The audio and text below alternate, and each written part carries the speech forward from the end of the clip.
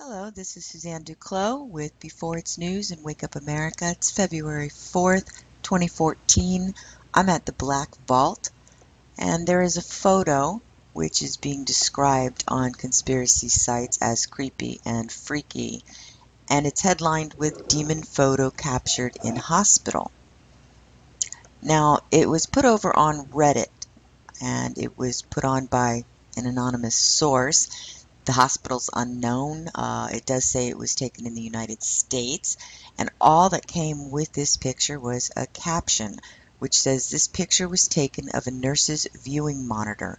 On the monitor, this black figure appeared standing on top of the patient who was lying in the bed. The patient died within a few hours of this figure appearing.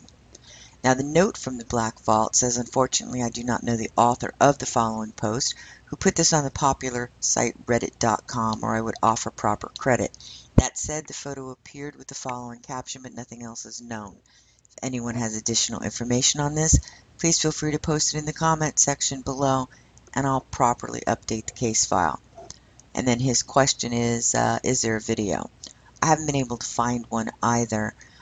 But uh, if it's a Photoshop, it's it's a good one because no one's been able to uh, prove that it is a Photoshop.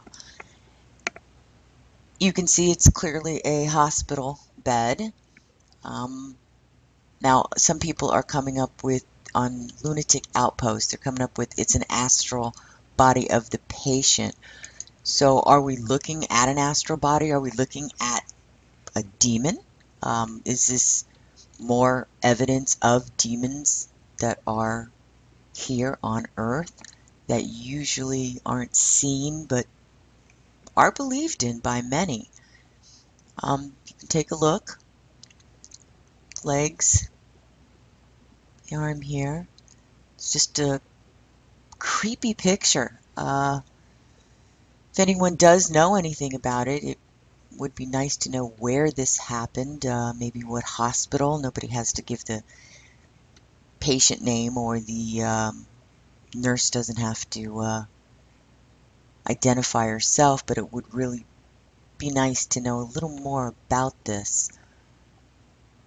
So if anybody has any ideas, uh, leave it in the comment section with the article associated with the video. It'll be in the details.